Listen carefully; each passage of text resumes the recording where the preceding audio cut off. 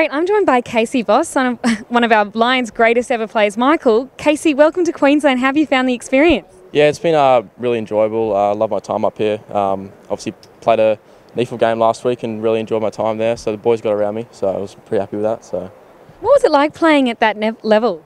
Oh yeah, it was a bit of a change up. The pace sort of picked up a bit, but sort of got used to it as the game went on, as, as you do as a footy player. So, sort of just made sure I played my game and just yeah, played game. So. So you'd only um, trained with the guys for a week, so was it a bit intimidating coming in and then suddenly sharing a field with them? Uh, a little bit, but they were sort of very supporting. They're sort of talking me, talk, talking to me the whole time, so I was sort of in the right spots throughout the whole entire game. So it wasn't it wasn't too much different. I sort of played a bit of halfback down in South Australia as well, so it wasn't too much different. So it was quite a tough game against the Southport Sharks, just going down. Yeah, fortunately, uh, kicked a goal up dying stages to take the lead. So we, we played a pretty good brand of footy all day.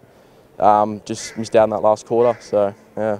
So now you get another chance this weekend down in Blacktown against the University of Sydney. Uh, what are you expecting this weekend? Uh, not much. Pretty much more the same. Um, got told I might play a bit more, bit more mid. So pretty happy about that. But other than that, I'm just going to do the same stuff I did last week and just continue to play footy. So. And what's the sort of things that you've learned with the Lions coaching staff up here in Brizzy?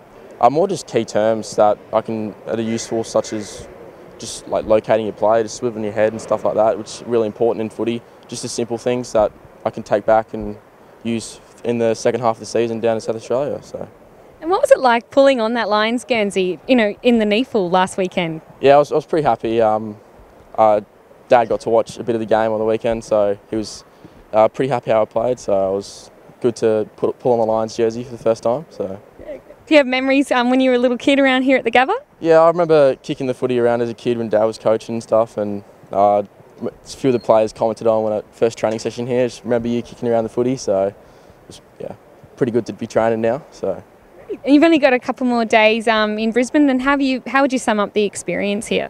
Oh, I've loved it. Um, I mean, the boys have just gotten around me. They've made me feel like part of the team, um, which is all I really wanted. So, yeah, not much. Not much else to say. Yeah, great. Well, it's been great having you up here, Casey, and all the best down in Blacktown this weekend. And hopefully, the Lions NEAFL team get back in the winners' circle. Yeah, hopefully we get the win and uh, yeah, end on a high note. So that'll be good. Fantastic. Thanks, Casey. No problem.